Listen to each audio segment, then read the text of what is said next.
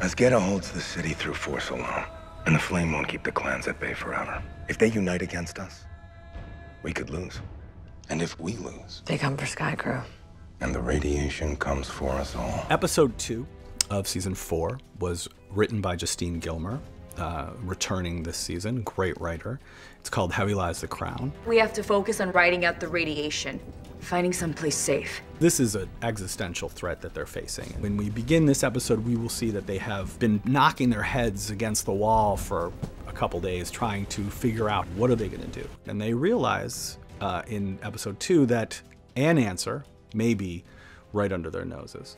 Alpha Station survived for 97 years in space through elevated radiation levels and extreme temperature fluctuations. Sound familiar? We're standing in our viable solution. But how do we store enough water for 500 people? We need a hydro generator. That's why we're heading to Farm Station.